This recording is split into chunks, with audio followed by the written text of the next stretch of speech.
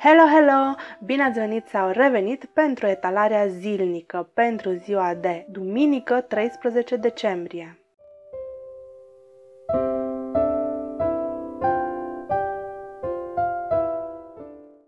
Bun, hai să vedem ce mesaje ne rezervă cărțile de tarot iluminat pentru duminică 13 decembrie în dragoste, sănătate, bani, carieră, situație financiară. Pe capitolul Dragoste, pentru această zi, avem aici o carte foarte interesantă care combină în ea energia arcanei majore, turnul, cu cea a arcanei minore, șasele de bâte. În general, în tarot, turnul este o carte foarte eh, greșit înțeleasă, foarte prost înțeleasă, pentru că vine cu schimbări dramatice, da? Vine cu o schimbare la care nu ne așteptam, s-ar putea să vină cu finaluri pe care nu ni le dorim sau nu le-am prevăzut, dar partea pozitivă a acestei cărți este că după acest final, după această transformare, după ce avem acest moment de revelație și reușim să vedem lucrurile dintr-o altă perspectivă, viața noastră o să se schimbe în bine. Poate nu reușim să ne dăm seama de lucrul ăsta acum, când suntem în momentul transformării, când suntem în acest proces atât de greu și de complicat, dar totul pare negru, totul pare întunecat, pare că lumea se dărâmă în jurul nostru, dar în realitate se dărâmă doar acele ziduri care erau instabile și care nu ar fi rezistat la un cutremur serios, ne-ar fi pus viața în pericol. Și acum este momentul să le dăm jos și să construim altele de la zero pe fundație mult mai solidă. Cum se aplică asta în dragoste? Păi, pentru cei care sunteți singuri, e posibil să vedeți astăzi cu alți ochi o persoană la care nu v-ați fi gândit niciodată că ar putea să fie un posibil partener, parteneră pentru voi.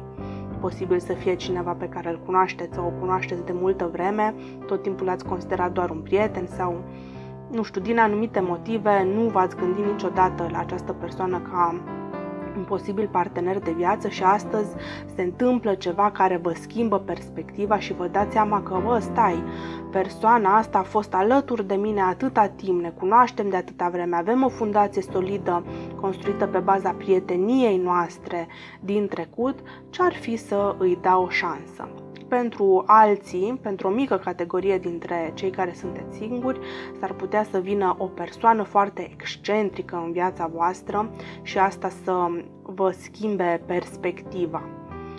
Pentru unii s-ar putea să nu fie o persoană fizică care apare în viața voastră, să fie doar o recalibrare mentală, da? să vă dați seama că ceea ce ați crezut că vă doriți într-un partener sau într-o parteneră nu este de fapt ceea ce aveți nevoie în viața voastră și bineînțeles pentru o parte dintre voi turnul s-ar putea să însemne că o persoană pleacă din viața voastră.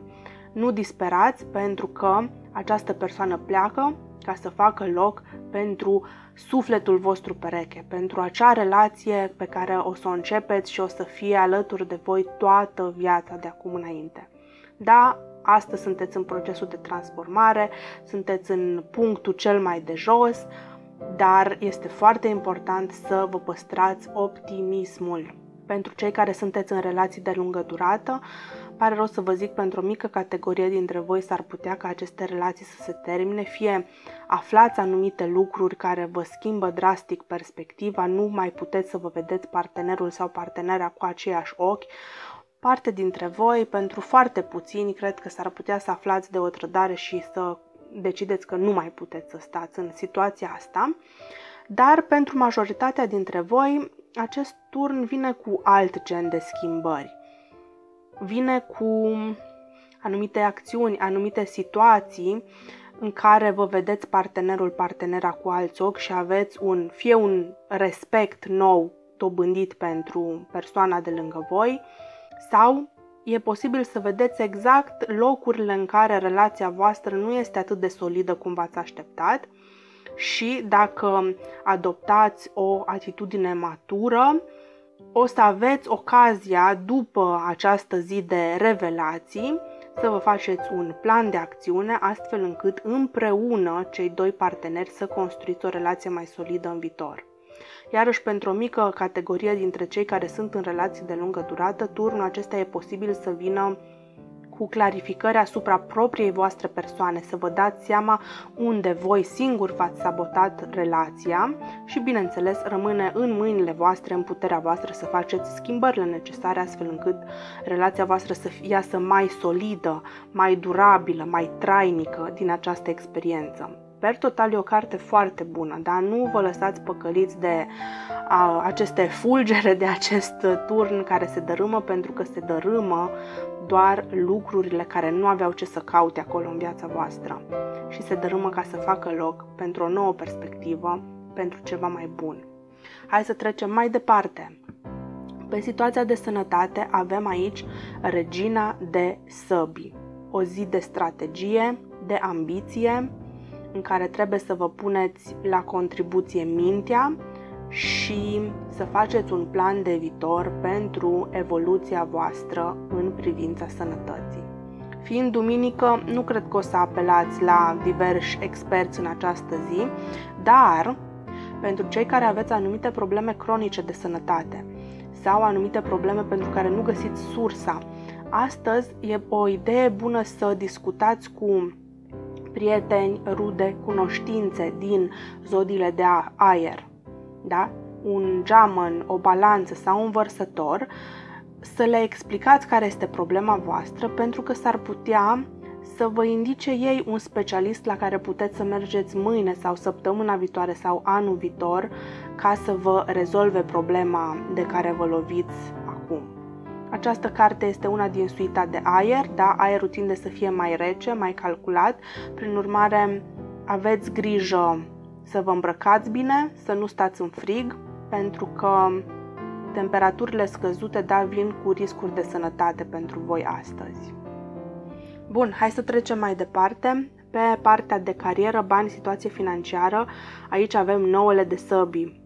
E o carte negativă, e o carte tristă, se întâmplă anumite lucruri pe care nu le înțelegeți, nu știți de ce sunteți în situația în care vă aflați și lucrul ăsta vă dă bătăi de cap, nu vă lasă să vă odihniți, nu puteți dormi, nu vă puteți calma toată agitația asta mentală pentru că vă tot gândiți oare ce o se întâmple, ce o se întâmple, ce îi, ce urmează, N-are rost să vă agitați atât pentru că astăzi e duminică, oricum majoritatea dintre noi nu o să meargă la lucru și faptul ăsta că vă tot agitați singur și vă puneți singur paie pe foc în această zi, vă stricați singur weekendul când oricum singura strategie este să așteptați până mâine, să așteptați până luni și să sperați că lucrurile o să se clarifice. Nu permiteți ca grijile financiare și stresul de la locul de muncă să vă strice această zi de weekend, mai ales că mâine, 14 decembrie, o să fie eclipsa de soare din săgetător. Lucrurile n-au cum să fie clare acum. E posibil ca nici mâine să nu se rezolve lucrurile. S-ar putea să trebuiască să așteptați chiar până la anul să se clarifice această situație. Nu permiteți ca aceste griji să vă strice weekendul, săptămâna, sărbătorile, finalul de an.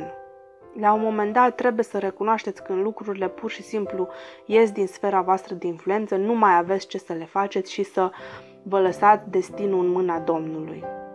Sunt lucruri care se pun în mișcare acum pentru că aceasta este o eclipsă de soare și îmi pare rău să vă spun, dar în acest caz buturuga mică nu răstoarnă carul mare. Bun, și hai să scoatem și un card de înțelepciune din aceste carduri de Louise Hay. Până când amestec eu cărțile, nu uitați să dați like la video dacă apreciați acest mesaj, lăsați-mi în comentarii cum se aplică pentru voi această interpretare și uitați-vă și pe grupul de Facebook care l-am pornit, găsiți linkul în descrierea acestui video. Acolo avem discuții mult mai elaborate, mult mai detaliate pe teme de astrologie, tarot, de evoluție personală. Bun, hai să scoatem un card. Nu mă uit la ele, scot de aici de la mijloc să vedem mesajul pentru ziua de azi. Sunt gata să învăț ceva nou în fiecare zi. Nu pot învăța lecțiile altor oameni în locul lor. Ei înșiși trebuie să-și facă munca și o vor face atunci când vor fi pregătiți. Un mesaj foarte frumos care ne îndeamnă pe de o parte să fim deschiși la schimbarea cu care vine turnul, să învățăm, da? să avem activitate mentală pozitivă, evolutivă, cum vine aici regina de săbii, și să nu ne mai pierdem timpul gândindu-ne la lucruri pe care nu le putem schimba, pe care nu le putem influența. Mai ales dacă aceste lucruri pe care noi am vrea să le influențăm, dar nu putem, sunt legate de voința altor oameni, de liberul arbitru al altor oameni, da? Nu vă băgați în genul ăsta de activități pentru că nu e ok. Concentrați-vă pe voi, pe traiectoria voastră de viață, da, e ok să avem grijă să nu-i influențăm negativ pe cei din jurul nostru, pe principiu ce ție nu-ți place altuia nu-i face, dar nu e ok să ne dorim să-i manipulăm pe cei din jurul nostru. Fiecare are lecția sa de viață de învățat, unii o să o învățăm mai bine, unii mai rău, ca la școală. Tot timpul e fruntașul clasei și sunt repetenții. Asta este, nu avem ce să facem. Singura metodă prin care putem să-i ajutăm pe cei din jur este să-i înțelegem, să-i acceptăm așa cum sunt ei, cu bune și cu rele, și să le demonstrăm prin propriul nostru comportament cum am vrea ca și ei să se poarte cu noi. Asta e singura metodă prin care putem să facem viața asta, lumea, universul acesta un loc mai bun pentru noi, pentru toți. Vă mulțumesc că a stat cu mine până la final. Ne vedem mâine. 爸爸